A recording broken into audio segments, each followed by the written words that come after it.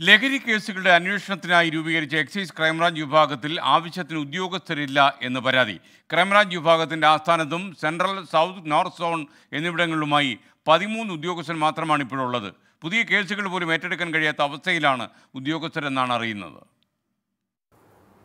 ലഹരി കടത്തുന്നതിനിടയിലോ വിതരണം ചെയ്യുന്നതിനിടയിലോ പിടിയിലാകുന്നവരെ കേന്ദ്രീകരിച്ചുള്ള അന്വേഷണത്തിനും ലഹരിക്കടത്തിന്റെ ഉള്ളറകൾ കേന്ദ്രീകരിച്ചുള്ള അന്വേഷണത്തിനുമായാണ് രണ്ടായിരത്തി പത്തൊമ്പതിൽ എക്സൈസ് ക്രൈംബ്രാഞ്ച് സേനയ്ക്ക് രൂപം നൽകിയത്.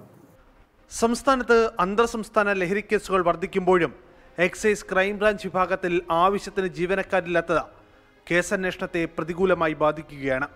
എറണാകുളം കച്ചേരിപ്പടിയിലുള്ള എക്സൈസ് ഓഫീസാണ് എക്സൈസ് ക്രൈംബ്രാഞ്ച് വിഭാഗത്തിന്റെ ആസ്ഥാനം. Central zone south zone north zone എന്നിങ്ങനെ മൂന്ന് സ്ഥലങ്ങളിലായി നിലവിൽ പതിമൂന്ന് ഉദ്യോഗസ്ഥർ മാത്രമാണ് ഈ വിഭാഗത്തിൽ ഉള്ളത്.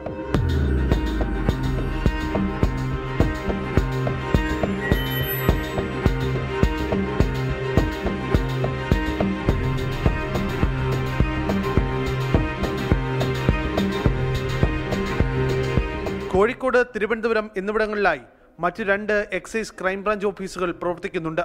ജോയിന്റ് എക്സൈസ് കമ്മീഷണർക്കാണ് ക്രൈംബ്രാഞ്ച് വിഭാഗത്തിന്റെ മേൽനോട്ട ചുമതല. സംസ്ഥാന സർക്കാരും എക്സൈസ് കമ്മീഷണറും അധികാരപ്പെട്ട കോടതികളും എക്സൈസ് വകുപ്പ് കണ്ടെടുക്കുന്നതുമായ പ്രധാനപ്പെട്ട അബ്കാരി എൻ ഡി പി എസ് കേസുകളുടെ അന്വേഷണവും എക്സൈസ് ക്രൈംബ്രാഞ്ച് വിഭാഗത്തിന്റെ ചുമതലയാണ്. എന്നാൽ ജീവനക്കാരുടെ അപര്യാപ്തത മൂലം കോടതിയിൽ സമയബന്ധിതമായി ചാർജ് ഷീറ്റ് സമർപ്പിക്കാനോ കേസുകളുടെ തുടർ നടപടിയിലേക്കോ കടക്കാനോ നിലവിൽ എക്സൈസ് ക്രൈംബ്രാഞ്ച് വിഭാഗത്തിന് കഴിയുന്നില്ല. സുപ്രീം കോടതിയുടെ രണ്ടായിരത്തി പതിനെട്ട് ഓഗസ്റ്റ് പതിനാറിലെ വിധി അനുസരിച്ച് കേസെടുത്ത എക്സൈസ് ഉദ്യോഗസ്ഥന് ആ കേസിൽ തുടരന്വേഷണം നടത്താൻ കഴിയില്ല. സീനിയർ ഉദ്യോഗസ്ഥനായിരിക്കണം ആ കേസിന്റെ തുടരന്വേഷണം നടത്തേണ്ടത്. എക്സൈസ് ക്രൈംബ്രാഞ്ച് വിഭാഗത്തിലെ ഉദ്യോഗസ്ഥരുടെ ക്രോ മൂലം അന്തർ സംസ്ഥാന ബന്ധമുള്ള പല ലഹരി കേസുകളുടെയും തുടരന്വേഷണത്തിന് പ്രതിസന്ധിയും ഉണ്ടാകാറുണ്ട്.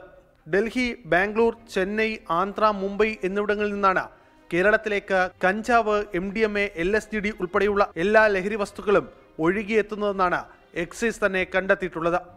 ഇത്തരം കേസുകൾ അന്വേഷിക്കാനാണ് ഈ വിഭാഗം പ്രത്യേകമായി രൂപീകരിച്ചതെങ്കിലും പരിമിതികൾ കാരണം എല്ലാ കേസുകളും ഏറ്റെടുക്കാൻ നിലവിൽ എക്സൈസ് ക്രൈംബ്രാഞ്ചിന് കഴിയുന്നില്ല.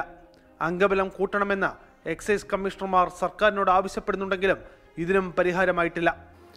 സംസ്ഥാനത്ത് അടുത്തിടെ പിടികൂടിയ രാസലഹരി കേസുകളിലെല്ലാം അന്തർ സംസ്ഥാന ബന്ധം കൃത്യമായി തന്നെ വ്യക്തമാകുന്നുണ്ട്. പക്ഷേ ഇത്തരം കേസുകൾ അന്വേഷിക്കേണ്ട എക്സൈസ് ക്രൈംബ്രാഞ്ച് വിഭാഗത്തിൽ ഉദ്യോഗസ്ഥരുടെ അപര്യാപ്തത അന്വേഷണത്തിന്റെ എല്ലാ മേഖലയിലും വലിയ തിരിച്ചടിയാണ് ഉണ്ടാക്കുന്നത്. കൊല്ലത്ത് നിന്ന് ആർ അരുൺ രാജ് ട്വന്റി